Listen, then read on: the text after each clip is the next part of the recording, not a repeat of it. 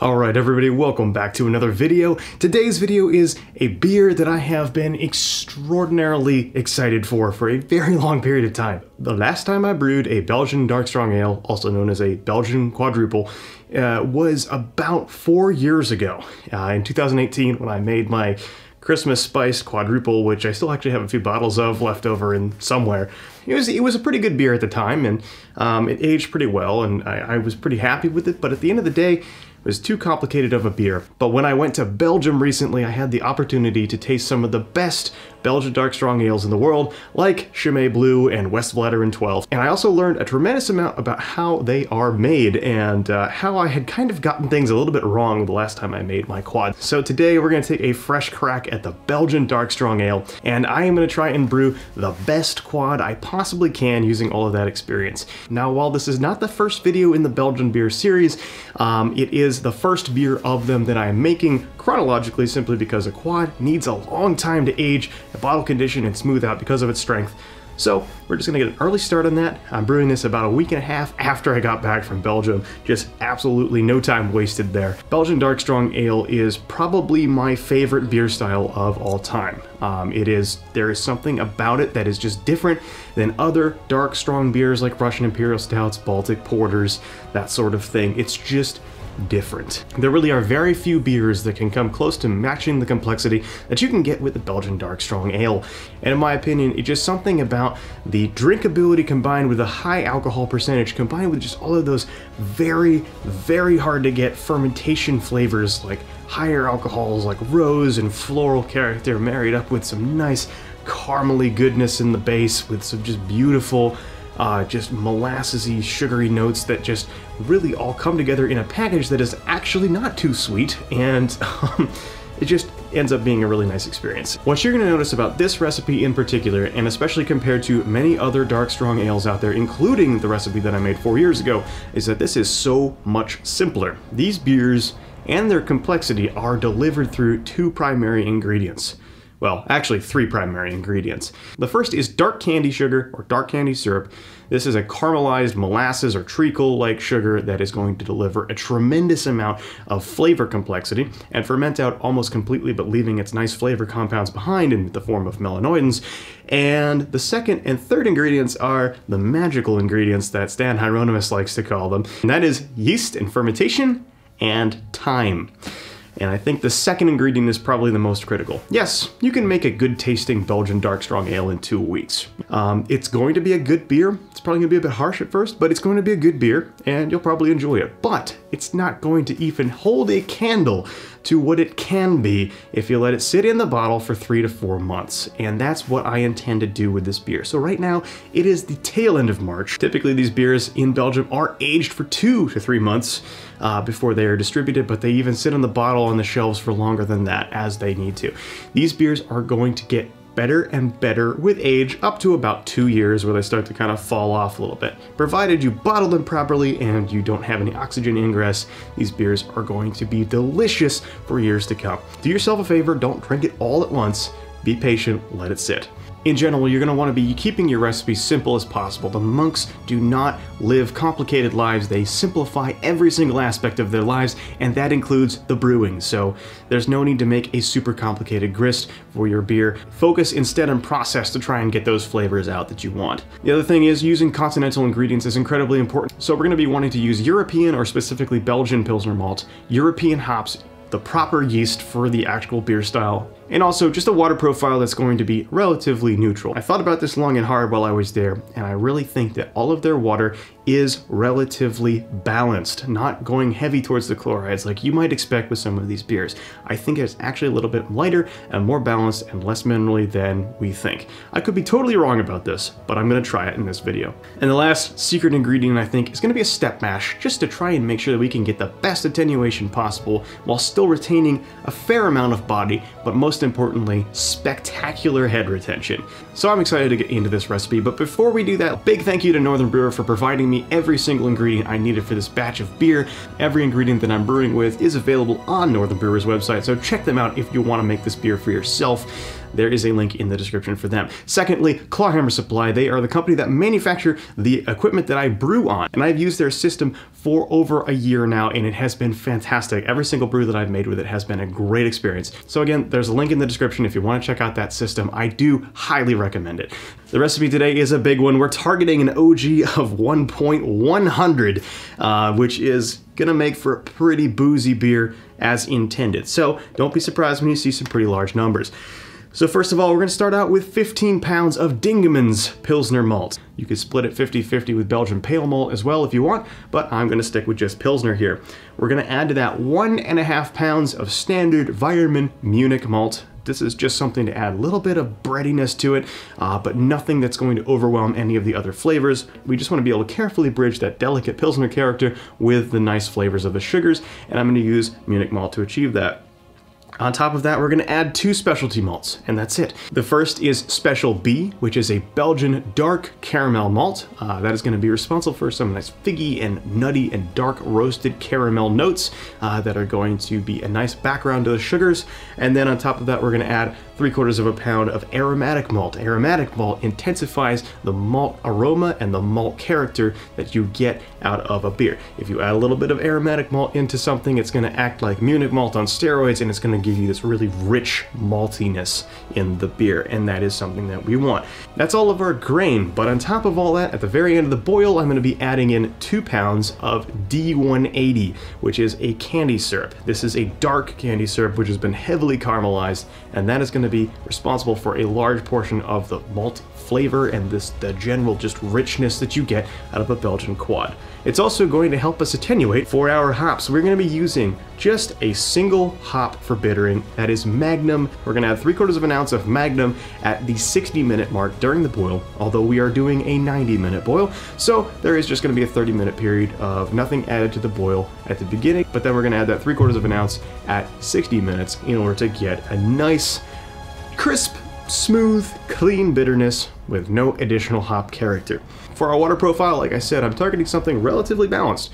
So this is gonna be our water profile. We're looking for 60 parts per million of calcium, 6 parts per million of magnesium, 18 parts per million of sodium, 79 parts per million of chloride, 62 parts per million of sulfate, and 47 parts per million of bicarbonate. And in order to achieve that profile, I'll be starting out with 8 gallons of distilled water in my Clawhammer supply system. This is so that you can copy this water profile exactly for your own usage. So to achieve that water profile, start out with your distilled water, or RO water, and add in 2 grams of gypsum, 2 grams of Epsom, 5 grams of calcium chloride, and 2 grams of sodium bicarbonate, or baking soda. For our yeast in this one, we're going to be using the Westvleteren strain slash the Westmalle strain slash the Achel strain also known as Wyeast 3787, WLP 530, or Imperial Triple Double, which is the variation that I'll be using just simply for cell count. We're gonna be using a two liter starter of this, especially in a beer of this high gravity and a beer where you're gonna push the yeast as hard as you will with a Belgian quad. You're gonna want to make a starter.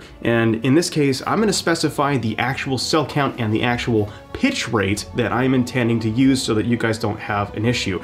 I'm gonna be making a two liter starter with a approximately about 500 billion cells of active yeast. That is a pitch rate of approximately 1 million cells per milliliter per degree Plato. That is a pitch rate that's a lot higher than the Belgians use, but I need to make sure that this beer actually does well, and I think a little bit extra yeast is gonna help with that. So in order to make that starter properly, you're gonna actually pitch 200 billion cells from the Imperial uh, packet into 2 liters of a 1040 gravity starter wort and put that on a stir plate for a couple days.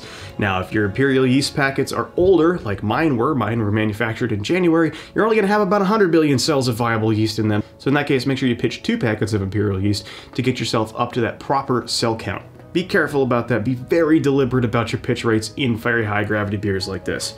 And then for our mash, we're going to be doing a step mash. Now this is not going to be a super complicated step mash like you might do for a traditional Czech Pilsner. Instead, this is going to be a two-step mash. We're going to do a 45 minute rest at 148 degrees Fahrenheit, and then we're going to ramp up to 158 for a 30 minute rest. I'm looking forward to is a very fermentable and a very clear wort. This mash schedule has produced extremely clear wort for me in the past, and it uh, should do the same thing here, and that's going to help cut down on some of those proteins that can cause haze. This is a beer that actually should be clear. Even though it's dark, it should come out as a ruby red with some nice dark undertones, and it should be brilliantly clear. On top of that, you should be seeing a really well-structured head that has like I said, spectacular head retention. That's what I'm intending to get out of this mash schedule. So, with all of that said and put together, let's go ahead and get this thing going. I added 8 gallons of spring water to my 10 gallon Clawhammer Supply 120 volt system and started to heat it up to the mash temperature.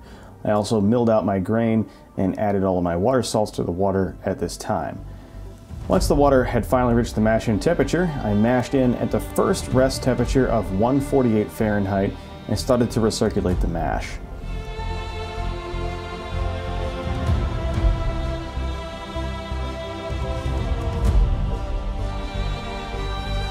After about 10 minutes though, I took a pH reading and I saw a pH of 5.64, which was actually a little bit high, so I added a very small amount of lactic acid to bring it down a few points. Once the mash had rested for 45 minutes at 148 Fahrenheit, I raised it up to 158 Fahrenheit. Then I raised it up to the final mash out step of 170 Fahrenheit and let it sit there for 15 minutes.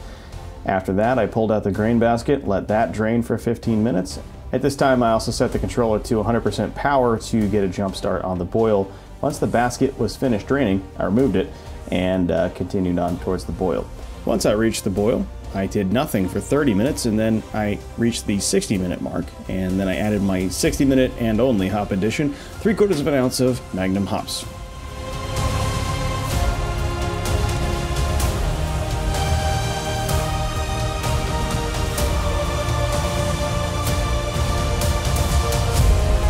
Then I let the boil continue for 50 more minutes and added in my two pounds of D180 candy syrup at 10 minutes stirring well to avoid scorching and ensure the entire thing was dissolved.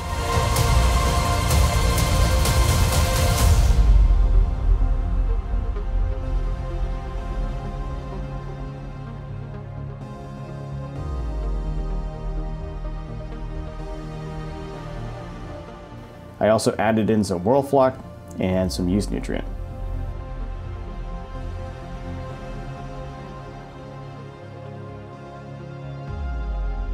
10 minutes later, I ended the boil, and then I began to chill down to the pitching temperature of 65 and transferred into the fermenter. I took an OG sample using the EasyDens, and I saw an original gravity of 1097, which was only three points short of my target. At this point, I pitched my entire yeast starter and I left it to ferment.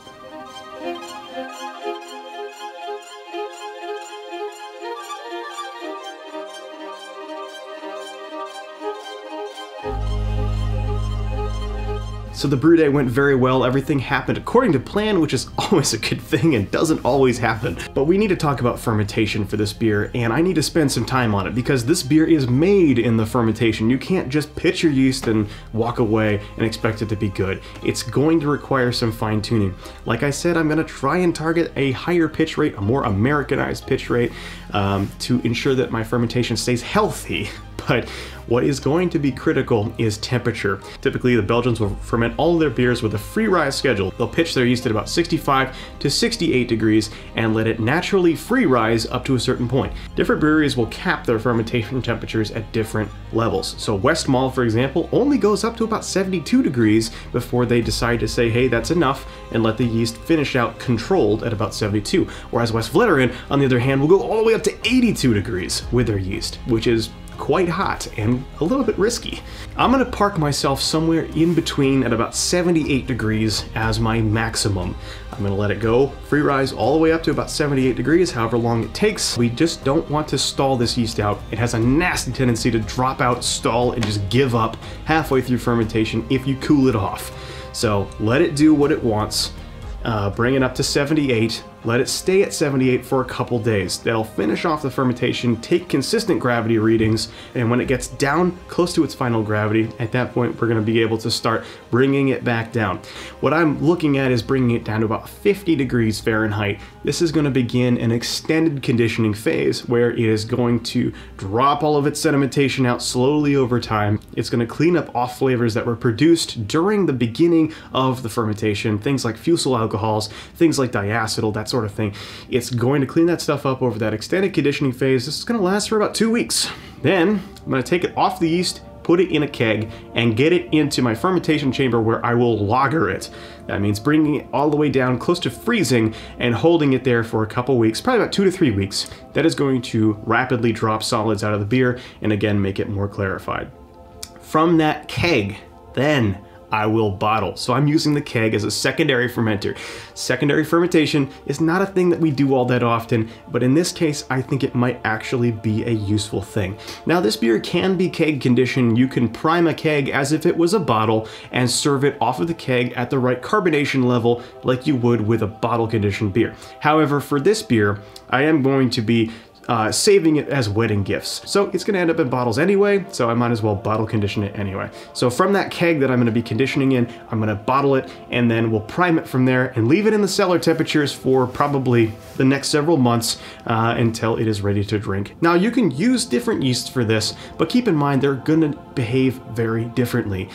You can use Chimay's strain, which is available as uh, T58 dry yeast if you want to use a dry yeast, or the Lallemand Abbey Ale yeast is also the same strain. Wyeast 1214 and WLP 500 are also the same strain, they're Chimay. Um, you can use a Rochefort strain, which is Wyeast 1762, I don't know the White Labs version of that off the top of my head. Now, if you do choose to use a different yeast, you're gonna want to make sure you do some research on what is the proper way to ferment that yeast. You know, when you think about what the extended back half of that fermentation is gonna look like, that's going to vary for different yeasts as well, so just be sure you're doing your research on that. Now during this Belgian beer series, you should be seeing different yeasts being used and you'll see different ways to work with them. So hopefully that gives you some tools if you want to choose a different yeast for your fermentation. The one thing that you must not do is ferment this with Kveik or ferment it under pressure. Those are great alternative methods for fermentation for plenty of different beers, but not for Belgian beers. There is no replacement for the Belgian ale yeast. For Belgian beers, specifically Trappist styles and Abbey beers, you need to use Trappist style or Abbey ale yeast. And you cannot ferment it under pressure because it will kill off all of those esters. You need to push that yeast, not necessarily stress it, but just push it to its utmost limits, and then you will get that character that you need, and you need to take care of that beer properly. These beers, especially dark strong ales, are not easy to make, and they do require a lot of careful planning and a lot of management of that fermentation, but at the same time, let the yeast do what it wants to do, and don't baby it too much. You need to relax, not worry, and have a home brew, and you'll probably be all right. So now that it's in the fermenter, I'm gonna wait a very long time. I'm gonna follow that fermentation regimen that I explained to you earlier, but it's gonna probably end up being around 10 and a half to 11% alcohol, uh, which is gonna require some time. So I will see you in several months.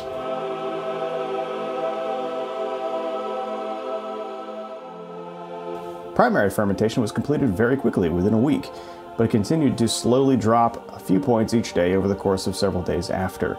So I saw a final gravity of about 1019 after about two weeks of fermentation. At this point, I bottle conditioned the entire brew and I primed it with candy syrup and a little bit of Lallemand CBC1 bottle conditioning yeast. I kept the bottles in the cellar for the next six months, letting them condition and develop flavor at temperatures that ranged between 55 and 65 Fahrenheit. I gave a bunch of these bottles away for my wedding, but I kept a few on my own, and in late September, decided to crack one open for this video.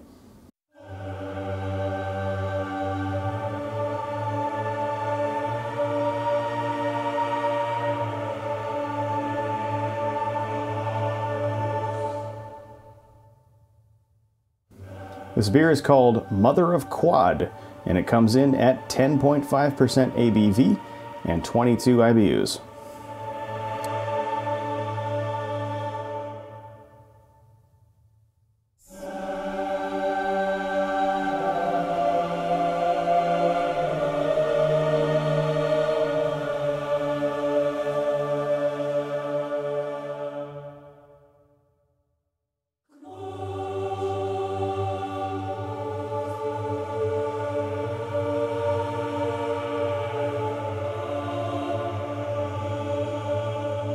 So for the appearance of the beer, it looks like it pours a dark brown, dark black color, but it actually really is truly a deep, dark shade of ruby red.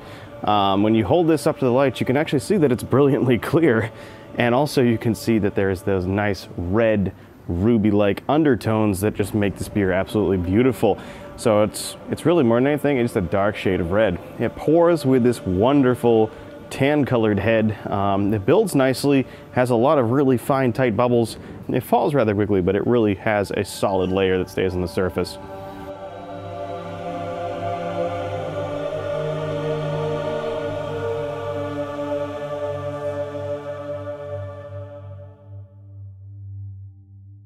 So it is now about six months since brewing this beer.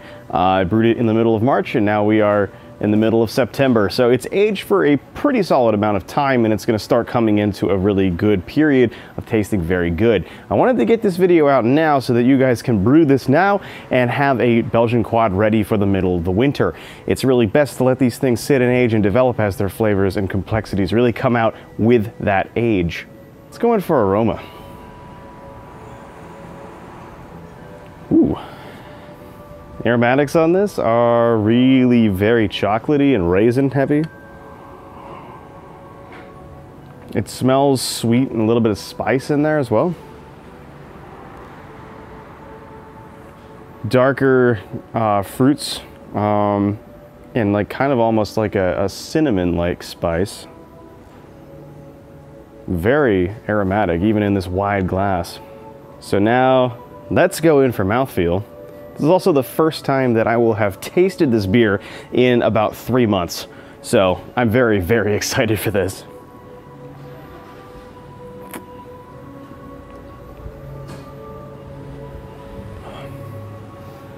Oh my God.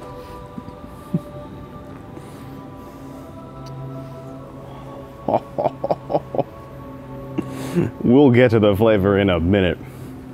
Man, I really outdid myself. Mouthfeel, very light, very, very smooth. Um, no kind of harsh edges to it, no roundedness either. It's not creamy, it doesn't have any fullness to it. It's just very smooth and very light. Um, there is good carbonation in this. It is dry for this beer, but the substantial amount of alcohol does add a lot of body to it. Bottom line is it's a very pleasant mouthfeel and it's really, really very enjoyable. I carbonated this in the bottle to about three and a half volumes of CO2. So it is heavily carbonated, just like all Belgian beers should be. And that really comes through in terms of carrying those aromatics out, building up that massive head, and then adding that kind of spritziness to the mouthfeel. So, this is the most important part and the thing that I am dying to get to. We are going to talk about flavor now.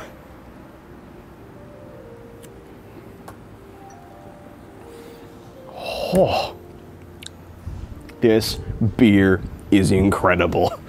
Um, now that I've given it the time to age, this is absolutely nothing like it was three months ago. This is a completely different beer, entirely. Uh, this has richness to it that it didn't used to have. It's got this really nice, almost semi-sweet Belgian dark sugar kind of character. Um, by that I mean like the dark fruits, dark raisins, dates, plums, but also it has a little bit of sugar sweetness behind it, very reminiscent of molasses, very reminiscent of maple syrup almost in terms of uh, just hints of that sugariness. It's not sweet. Now, keep in mind now, this is not sweetness directly. This is alcohol-induced sweetness. So it's really your mind thinking that it's sweeter than it is, but those flavors of raisins, dates, and, um, and other dark fruits kind of trick your mind thinking this is a sweeter beverage than it really is. We also have really good malty character in this. There's a little bit of a biscuity, bready base to it, and truly a fantastic balance in the maltiness. Um, holy crap.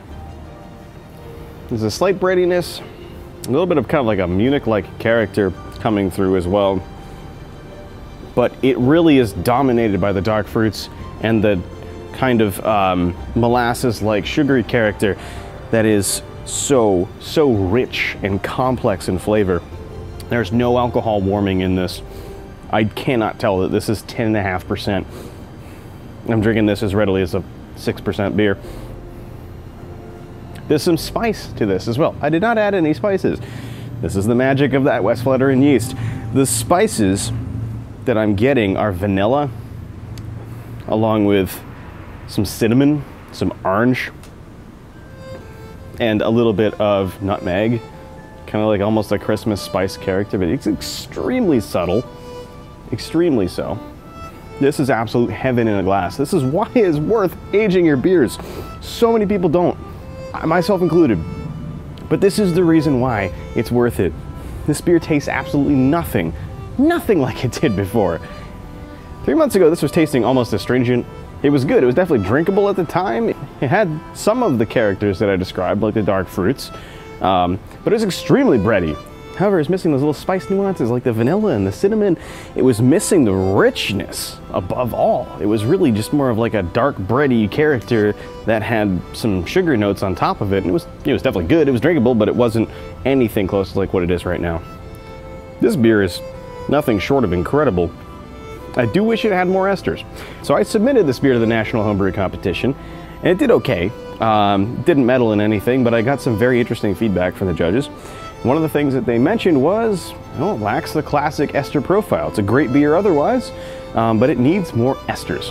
And that's an interesting comment because I fermented this uh, and actually got all the way up to 82 degrees during the fermentation, which would create excessive esters, um, but I did pitch a lot of yeast. But I do agree with those comments. It is missing that. Uh, it, it needs little bits of like a bubblegum note. It needs a little bit of, not necessarily a banana, but maybe a little bit of a pear, a little bit of an orange peel character. These are all esters that you can get out of this yeast uh, in order to be the really best version of itself that it can be. And in order to achieve that, I think I might want to pitch a little bit less yeast in the next version of this. It has absolutely no fermentation related off flavors in it. There's no fusel alcohols, and that's the major risk when you pitch a slightly smaller amount of yeast into this high, high gravity wort. Um, so there's a couple of levers that I can pull to get more esters. Either pitch a little bit less yeast, or I can possibly aerate a little bit less, or use less yeast nutrient in this beer the next time I make it. There's a little bit of flexibility you have there, you can also ferment in a shallower fermenter that tends to increase esters as well, very similar to like what you would do for an open fermented Hefeweizen. Technically, you can also open ferment these beers. So there's a lot of things you can do to create extra esters and still get the same level of um, high quality fermentation. That being said, I personally am still incredibly happy with this beer and incredibly proud of myself for making it. So that is an absolute win. And if you make this beer and you follow my recipe to the T, just don't drink it before six months. And I think you'll be happy. In three months, it was an okay beer. At six months, this thing is blowing my mind. I really do think that this is going to dethrone the triple in terms of what was the best beer that I've made over the last 12 months, rolling period. That was a very, very, very good beer. But this one takes the cake because I like my dark beers. And this is on a whole other level. This may potentially be my favorite beer of my own that I've ever made. And it's pretty damn close to that Westvleteren 12 that I brought back from Belgium, so I'm happy. This beer is an incredible combination of drinkability and complexity and just sheer delicious flavors. Um, it takes me straight back to the courtyard at Westvleteren, which is why I picked this glass for it, because it does feel so similar to Westvleteren 12. Um, I'm not saying I'm making a beer that's as good as West Westvleteren 12 by any means, but it certainly reminds me of it and it feels very close. I'm very happy with it overall. It just goes to show that some things in life are certainly worth waiting for, and this is one of them. Anyway, guys, having waited about six months to put this video out, it would mean a ton to me if you were able to hit that like button, that subscribe button, and comment down below with your thoughts and reactions on all of this stuff. If you want to support me, that means a ton to me as well. And a great way to do so is to pick up a t-shirt from my t-shirt store, or to check out my Patreon, to check out the super thanks button, or my channel memberships options as well. All of these things help me out a ton, and it means the world to me that you guys are supporting me. It really does help keep me going in this passion project of brewing and sharing this stuff with you guys all. If you want to follow me in more than just YouTube, I'm also available on Instagram and Facebook as The Apartment Brewer. So check that out for some more frequent content updates. Last but certainly not least, if you are still here, thank you very much for still being here, watching all the way to the end of the video. It makes a big difference to me. And so, this one goes out to you guys. Till the next one, cheers.